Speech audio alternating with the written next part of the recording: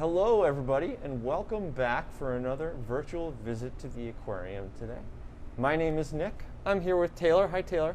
Hey, Nick. It's always good to have the Tane Neck combination joined together for an educational experience. We're in front of an exhibit that you may have seen once or twice on some of our recent virtual visits. And uh, that's no uh, coincidence. This is a favorite exhibit of Taylor and myself and lots of other educators here at the aquarium. This is our Blue Hole exhibit. It's at the top of the ramp that goes from the first to the second floor here in the aquarium in the temperate gallery. And our Blue Hole exhibit features quite a wide variety of fish that are found on deeper reefs in more temperate to tropical areas Usually you associate this exhibit with some very large groupers called Goliath groupers. Uh, and they're very noticeable, and if we're lucky, we may even get one that shows up during our presentation. But actually, Taylor and I decided today to focus on some animals in this tank that don't always get as much attention as those groupers, and you can sort of see them represented in front of us here. We are going to talk about the lobsters that make their home in our blue hole exhibit. We have two different types of lobsters here that we're going to speak about. Taylor's going to talk about one. I'll talk about the other. You may see some lobster activity behind us in the exhibit as well, which will be really exciting. Uh, but uh, I thought I might be a, a, a, nice guy and let you go first, Taylor. what do you think about that? Would you like to speak Sounds first? Sounds great, Nick. Okay.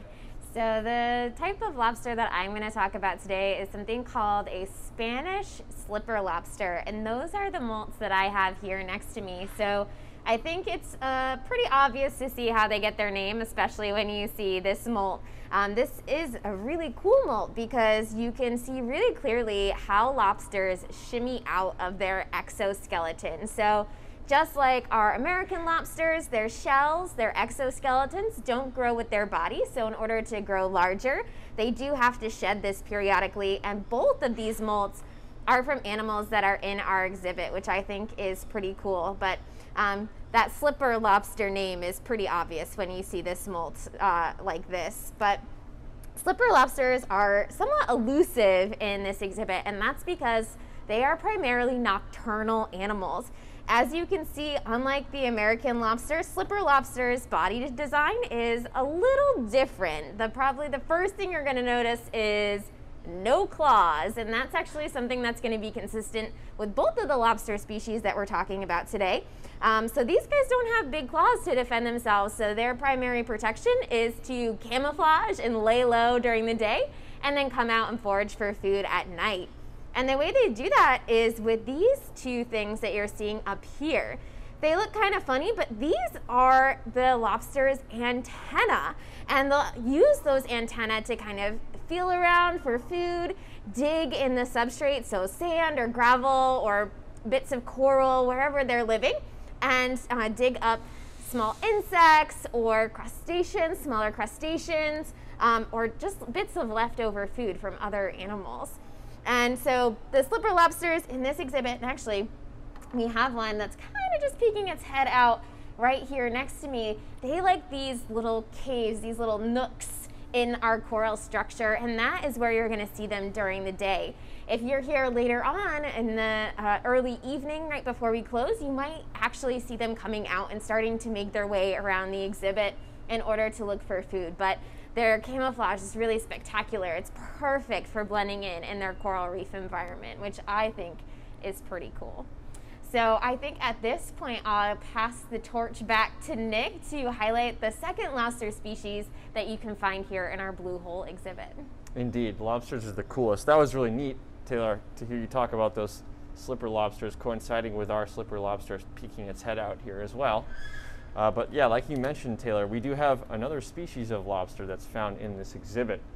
Uh, this is a Caribbean spiny lobster, and we have several lobsters about this size and actually a little bit bigger than this in the exhibit. You can often find them towards the periphery, sort of behind where Taylor is and behind where I am here sitting on the bench.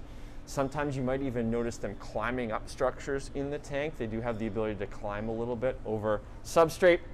Caribbean spiny lobsters are one of 30 different kinds of spiny lobsters that are found in tropical to subtropical habitats, which I think is really cool. That is cool. I didn't know that. Yeah, so many of them. These guys are technically found from the Carolinas all the way down to Brazil, is sort of their southern range.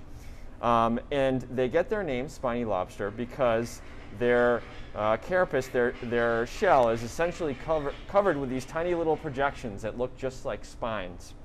You'll also notice from this lobster's molt, and just like Taylor was talking about um, her slipper lobster molts coming from animals that we've had in this exhibit, same thing with this spiny lobster molt as well. Uh, you can notice that it has very, very long antenna. Oh, hello. sort of the opposite of what Taylor was talking about with her slipper lobster antennae, which are sort of modified, but these Caribbean spinies have very, very long antennae to be able to sense what's happening around them. And just like the slipper lobsters, they also don't have claws. So we're very used to seeing lobsters around here in New England with very large claws, but these animals don't have claws either. So they have a lot of the same adaptations and behaviors that Taylor was describing to be able to protect themselves. They tend to be more active at nighttime. They're nocturnal. They will find caves to hide during the day, and their coloration is such that they can often blend into the substrate as well. This molt has actually lost a lot of its natural color, so it's a lot more white than it would normally be. Luckily, our slipper lobsters have sort of maintained some of that natural coloration, which is really cool. But anyway, these guys will also feed in a similar manner to the slipper lobsters. They're uh, scavengers. They'll feed at nighttime looking for dead, dead things, dead carrion, crustaceans, things like that. They're also fed upon by other animals, larger fish. Ironically enough, one of their predators just swam away from, away from me here, the Goliath groupers. The reason why we can keep Goliath groupers and spiny lobsters in this exhibit, well, it's primarily because we work really hard to make sure our groupers are well fed. That's definitely important in all of our exhibits where we have predators and prey together. But from what I understand, I think the spiny lobsters in, in this exhibit tend to be large enough as well, where they usually don't have to worry about being threatened by the Goliath groupers. Um, but spinies, really, really cool animals. They're actually fished. There's a fishery for them in the Caribbean. They're very popular to eat. Um, basically, the part of their body that you would eat is mostly the tail and having had the chance to taste some, I don't know if you've ever had any spiny I lobster haven't. before. Not that I, not that I'm aware of. I've, I've heard that often lobster that's marketed as lobster tail meat is uh-huh. Caribbean spiny lobster and not necessarily American lobster. So I might have had it and not known it. And not known it. Yeah, I'm gonna sort of incriminate myself as a New Englander, but I actually like spiny lobster better than I like American lobster Ooh, that we find around here. I know, yeah, yeah. controversial take there. Um, but there is a sustainable fishery for them, and there are regulations in place that result uh, that uh, refer to the amount uh, of lobsters you can catch in a particular time period and their size, things like that. Um, having a permit, so the fishery tends to be pretty well regulated. Um, but they are a really, really cool, interesting type of lobster, just like the slippers. I think um, my favorite fact about spiny lobsters is how they migrate. Oh, I forgot to talk yeah. about this. Go ahead. So yeah. I refer to them as the polite lobsters of the ocean because when they migrate, they'll actually get into a big long line and kind of follow each other head to tail wherever they're going. So it's something called queuing, um, and they they'll queue up and they'll all follow the same path, which I think is pretty incredible. I'm so glad you mentioned that. I, I really meant to, to talk about that, but I forgot. Yeah, it's so it's really cool. You can actually look look for videos online and find these videos of these polite little lobsters, just like Taylor was talking about, sort of following each other as they're making a migration or trip across the bottom. So.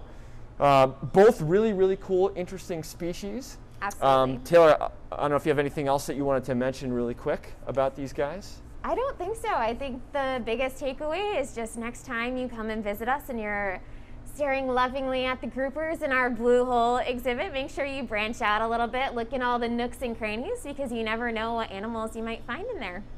Thanks for tuning in, guys, learning a little bit more about some of the animals here in our blue hole exhibit. As always, if you have any questions, be sure to put them in the comments section. And please do return for another virtual visit in the future. See ya. Thanks, friends.